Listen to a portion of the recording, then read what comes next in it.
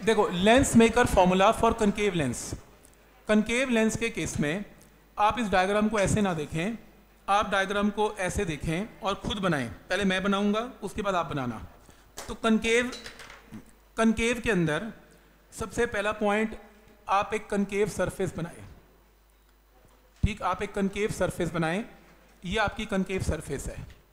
पहला पॉइंट दूसरा पॉइंट इसमें ये प्रिंसिपल एक्सेस है। एक रे, ये मान लो ऑब्जेक्ट है, यहाँ पर ऑब्जेक्ट है, एक रे, आप यहाँ पर हिट करवाएँ। बनाना मत, पहले एक बार देखना। कहाँ कहाँ गलती हो सकती है, ये बताना चाहता हूँ। कई लोग अपने ऑब्जेक्ट को काफ़ी पास रखेंगे। तो याद रखना, आपकी सारे जो इमेजेस बननी है, वो इसके बीच में बननी है ऑब्जेक्ट के। तो इतना टाइट मत कर देना कि बीच में आपको खुद ट्राइंगल दिखे ना। थोड़ा दूर रखना ऑब्जेक्ट तो ऑब्जेक्ट रखा आपने यहाँ पर। एक रे सीधी यहाँ पर गई। अब इसका जो सेंटर होगा, इसका सेंटर वो कहीं यहाँ कहीं होगा। क्या ये पॉइंट क्लियर है? सेंटर ऑफ़ कर्वेचर यहाँ पर नॉर्मल सेंटर से पास कर रहे हैं। अब ये बताओ ray of light is entering from rare to denser it will bend towards तो टूवर्ड्स नॉर्मल कर दिया। इतने में मेरा लेंस ही छोटा पड़ गया। पहली गलती। लेंस कैसे करूँगा? लेंस ही खत्म हो जाएगा रे निकल गई। तो फिर कोई बात नहीं पेंसिल है आपके हाथ में। तो क्या फ़र्क पड़ता है? लेंस को बड़ा कर लें। ठीक है? और क्या कर सकते हैं? लेंस को थोड़ा बड़ा कर लेना। और कुछ ऐसा कर देंगे, क्या फ़र्क पड़ता है? लेंस बड़ा छोटा क्या है? अभी भी डायग्राम नहीं बनेगा मुझसे। क्योंकि अभी भी अगर मैं इसको आगे कंटिन्यू करूँगा तो यहाँ हिट हो जाएगा। गलत। यहाँ पे होना चाहिए था। ठीक है? तो पहला पॉइंट समझ में आ रहा है कि मेरी तरह ये गलती नहीं करनी आपने। कि कुछ भी बना दिया और फिर पेज खत्म हो गया और फिर दिक्कत हो। तो आपने क्या करना है? पहला पॉइंट आपने ये सरफेस बनाई, ये आपका प्रिंसिपल एक्सेस है। मतलब ये चीज़ें आपने पहले से दिमाग में रखनी है कि क्या प्रॉब्लम आ सकती है, कि ये ऑब्जेक्ट है, नीचे हिट करवाओ, ऊपर मत करवाओ ज़्यादा। ऊपर करो लेंस खत्म हो जाएगा तो नीचे ही करवा लो। तो पहला पॉइंट क्लियर है यहाँ तक, ठीक है। फिर इसका जो नॉर्मल होगा, वो कहाँ से पास करेगा, वो कहीं यहाँ से पास करेगा। तो रे ऑफ़ लाइट इज़ जो रे ऑफ़ लाइट है, वो रेयर से denser it will bend towards normal तो टूवर्ड्स नॉर्मल अब अगर सेकेंड सरफेस ना हो, चलो नहीं है सेकेंड सरफेस तो उस केस में आपकी लाइट यहाँ पे आके मिलेगी तो ये क्या बनेगी आपकी इमेज आई वन अगर ना हो तो। ठीक है? तो अगर मैं सिर्फ़ एक ही सरफेस बनाऊँ तो रे ऑफ़ लाइट गई और ये दूर चली गई, मुझे यहाँ मिलाना पड़ा तो ये इसकी इमेज बन गई। ठीक है यहाँ तक? लेकिन ऐसा नहीं है। आगे रिफ्रैक्टिंग सरफेस है। और अगर आपकी आगे रिफ्रैक्टिंग सरफेस है तो बना लो रिफ्रैक्टिंग सरफेस ये देखो। रिफ्रैक्टिंग सरफेस है तो रे ऑफ़ लाइट आगे तक जाएगी। इसका जो नॉर्मल है, वो कहीं यहाँ कहीं मिलेगा आपको। तो रे ऑफ़ लाइट कहाँ मूव करेगी? अवे फ्रॉम नॉर्मल अब अवे में मैंने ऐसे अवे कर दिया। अब अवे ऐसे करने में इमेज यहाँ बनेगी, गड़बड़ लेंस के अंदर होना इमेज बनेगी तो भी गड़बड़ हो गई। तो अपने को एक काम करना पड़ेगा। क्या करना पड़ेगा? इमेज ऐसे बनानी है मतलब ये ऐसे बेंडिंग करनी है, ताकि जब मैं इसको बैग ज्वाइन करूँ तो मेरी इमेज यहाँ कहीं बननी चाहिए। पॉइंट समझ में आ रहा है यहाँ तक? तो कुछ ऐसा कुछ करना है।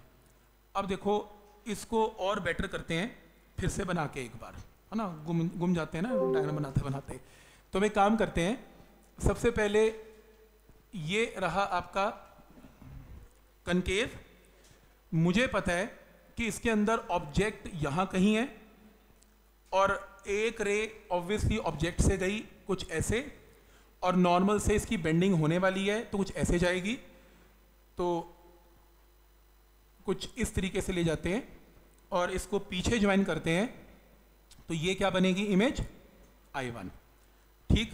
अब मुझे पता है कि आगे और बेंडिंग होनी है तो इसको अगर मैं कंप्लीट कर लेता हूँ लेंस को तो इसकी और भी बेंडिंग होगी। सच दैट कि जब ये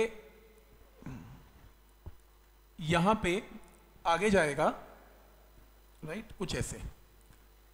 तो यहाँ से बेंडिंग ऐसे हो कि आपकी जो इमेज है वो यहाँ कहीं बननी चाहिए। एक काम क्यों नहीं कर लेते? इमेज को यहीं पे पहले फाइनल कर ही लो। छोड़ो। इमेज यही है मेरी इमेज ठीक है? तो इमेज हम फाइनल कर लेते हैं आए। तो अब यहाँ से जब रिफ्रैक्शन होगी तो आपकी इमेज कहाँ पर बनेगी? आई पे। मतलब यहाँ पे बेंडिंग करके इमेज बनाना, से बेटर है, आप इमेज पहले फाइनल कर लो, मुझे यहाँ बनानी है। फिर अपने आप ही बेंडिंग वैसी हो जाएगी। बात खत्म हो गई। तो आप एक बार डायग्राम बना के क्यों नहीं देख लेते। बनाओ डायग्राम इसका, तभी प्रैक्टिस होगी। ये डायग्राम है। देखो जरा।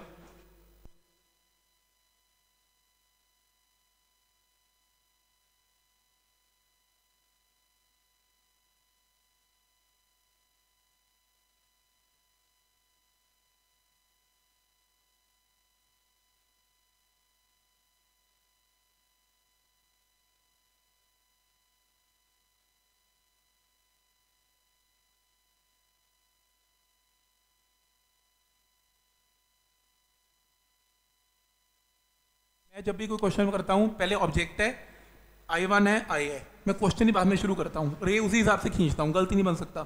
करके देख लो आप भी। नॉर्मल का?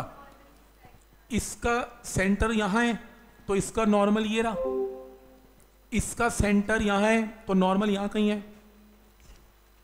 ठीक है?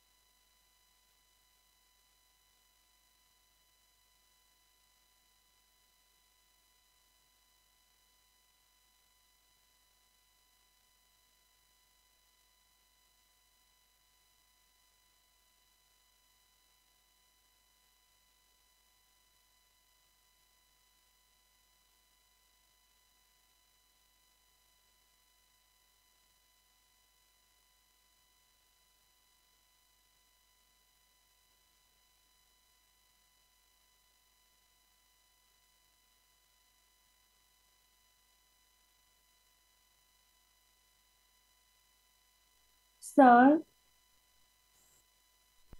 हेलो सर एक बार वो फिर से बता दो कि ऑब्जेक्ट से बेंडिंग कैसे करनी है। देखो इसमें ये आपके सामने इसमें रिफ्रैक्शन के इफेक्ट्स हैं कुछ भी नहीं है। ये देखो एक रे सीधी पास कर दो एक रे ये गई। तो यहाँ पे इसका नॉर्मल ये बनेगा। It will bend towards normal हो गई ये देखो नॉर्मल के टूवर्ड्स हो गई ऐसे। फिर नॉर्मल इसका यहाँ बनेगा। अवे फ्रॉम नॉर्मल हो गई, देखो।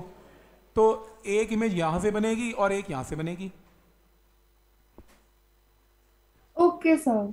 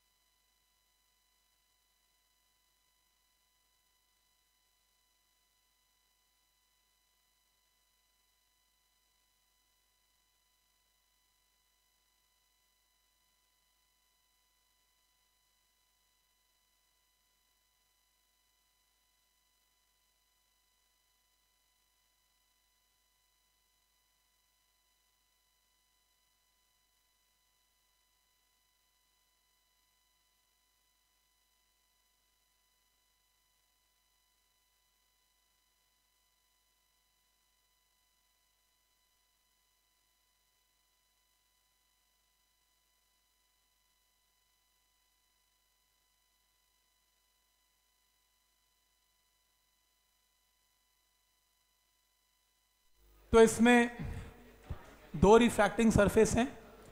अब फिर से एक बार बताओ कि अगर पहली रिफ्रैक्टिंग सरफेस है, इसके लिए ऑब्जेक्ट का डिस्टेंस कितने है? यू और इमेज का क्या है? वी वन और सेकंड के लिए ऑब्जेक्ट कौन है? वी वन इमेज कौन है?